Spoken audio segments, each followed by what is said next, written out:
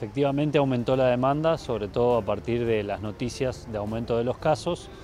No hay que desesperarse, pero sí estamos recomendando fuertemente el completar aquel que no se dio la tercera a la tercera, el que no se dio la cuarta a la cuarta y para aquellos que está indicada lo que es la quinta dosis o en realidad tercer refuerzo llamamos nosotros.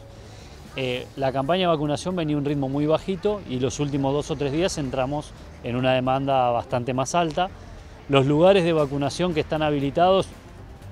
empezaron un poco a modificarse porque la vacuna de COVID empezó a estar en cada uno de los lugares que habitualmente se vacuna calendario. Por eso acá en La Plata, bueno, o en toda la provincia, en los hospitales provinciales van a encontrar vacunas de COVID para poder vacunarse. También todavía persisten algunos vacunatorios de los que eran específicos de COVID y también en las unidades sanitarias eh, de cada municipio, que eso hay que averiguar en cada distrito en qué unidad sanitaria eh, van a estar aplicando las vacunas de COVID. Pero vacunas hay, no hay que asustarse, no hay que desesperarse porque vacunas va a haber para todos los que se tengan que dar refuerzos. Lo que se están empezando a dar nuevamente son recomendaciones y avisos cuando empezamos a ver que aumenta la cantidad de casos. Eso no significa por ahora que haya que tomar medidas restrictivas ni de ningún tipo,